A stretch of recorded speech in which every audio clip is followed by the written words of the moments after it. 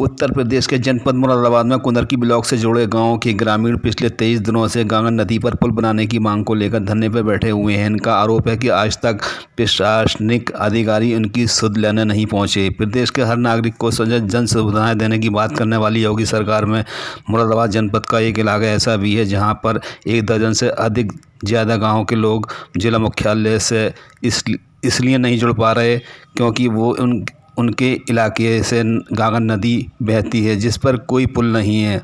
उसे पार करने के लिए बड़ी ट्यूब सहारा, ट्यूब का सहारा लेना पड़ता है।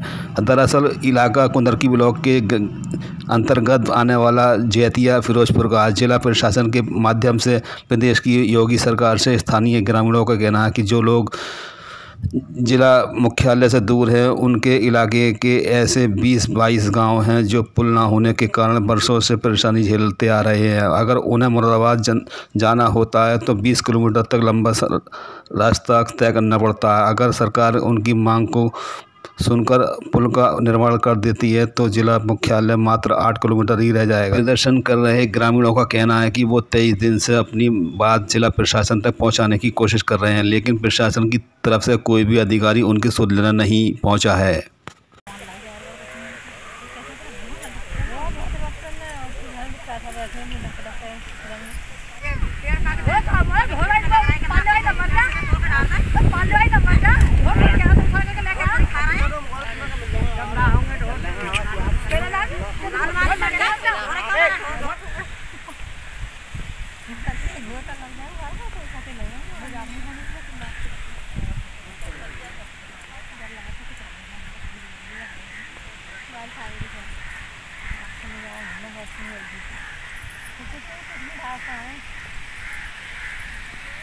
बालक तोड़ दिया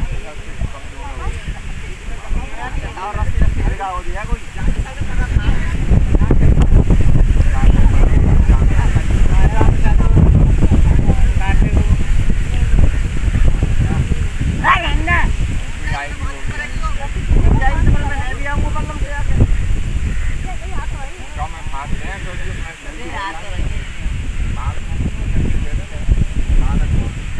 कोई जैतिया फिरोजपुर से राजेंद्र सिंह कश्यप बोल रहा हूँ।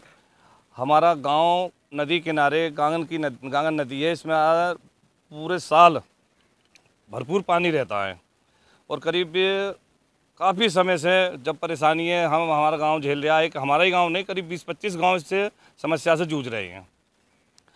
हमारे गाँव की तो ज़्यादातर खेती किसानी सब पार है। थोड़ी थोड़ी ज़मीनें हैं वो सब गागन पार हैं। आने जाने की बच्चों को दिक्कतें हैं। पढ़ाई लिखाई से बच्चे महरूम रह जाते हैं, बिल्कुल पढ़ाई लिखाई नहीं हो पा रही उनकी, क्योंकि गांगन के पार जा, जितने भी इंटर स्कूल हैं, जो भी हैं, गांगन पार हैं। आने जाने की समस्या से कोई भी हमारे गाँव का बच्चा हाई स्कूल इंटर से ऊपर नहीं जा पाता, क्योंकि बच्चों को और बच्चियों को दूर भेजना गाँव में थोड़ा परेशानी समझते हैं और हमारे पास ऐसा कोई साधन नहीं है जिससे हम मुरादाबाद या कहीं ले जाएँ। अगर हम मुरादाबाद जाते हैं तो करीब 25 किलोमीटर का हमें फेर काटना पड़ता है और अगर हमारा ये पुल बन जाए तो हमें कम से कम आठ किलोमीटर में हमारा जो है मंजिल कट जाए। पूरे गाँव का जो खेती बाड़ी है, वो वहाँ सब नदी के पार ही है। इस गाँव गाँव है, पल्ली पार खेती बाड़ी है। ढोर वोर होगा, चारा वोरा लेके आते हैं तो इसी नदी में होकर जाते हैं। इससे हमें बहुत परेशानी है। चार पाँच साल हो गए हम। कहते कहते का पुल बनवाओ पुल बनवाओ। कोई आता है, थोड़ी बहुत समझा के, का चला जाता है। और साहब, हमारे इसमें दो तीन बार डूब भी गए हैं गाँव के आदमी। और क्या बोले? ये रास्ता हमारी यहाँ का और पुल बन जाएगा। तो ये मुरादाबाद, ज़िला मुरादाबाद को जाएगा ये। दस बीस गाँव पड़ते हैं, इधर उधर भी सबों को फ़ायदा होगा। क्योंकि लोग कुंदरकी को जाते हैं, इधर भी शहर, कस्बा है, इधर मुरादाबाद शहर है। कई बार हम, हमारे जो विद्यार्थी साथी होते हैं, हम रेलवे ट्रैक पार करके पार जा, जब पढ़ने के लिए जाते हैं तो बहुत हादसे हुए हैं। दिन में पिछली बार तीन महीने भी हादसे का शिकार हुई। बुरी तरह क्षतिग्रस्त होने के बाद उनकी मौके पर ही मौत हो गई। इससे हमें बहुत तकलीफ़ होती है। इसलिए हम सरकार से मांग कर रहे हैं कि हमारे लिए एक पुल बना पुल बनवाया जाए जिससे हम आराम आराम से शांति सुगल होकर पार पढ़ने के लिए जा सकें। जी। जी बहुत बहुत ही जटिल समस्या है ये। एक ही नहीं हमारे गाँव में भी जो हमारे गाँव की पढ़ने जाते हैं और जो खेती बाड़ी है, ये सब पार ही है, गागन पार करके ही जाना पड़ता है।